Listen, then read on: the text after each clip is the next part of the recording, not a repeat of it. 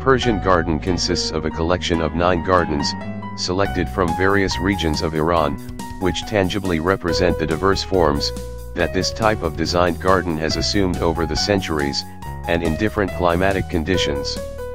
They reflect the flexibility of the Chahar Bagh, or the originating principle of the Persian garden, which has persisted unchanged over more than two millennia, since its first mature expression was found in the garden of Cyrus the Great's palatial complex in Pasargadae. Natural elements combine man-made components in the Persian garden, to create a unique artistic achievement that reflects the ideals of art, philosophical, symbolic and religious concepts.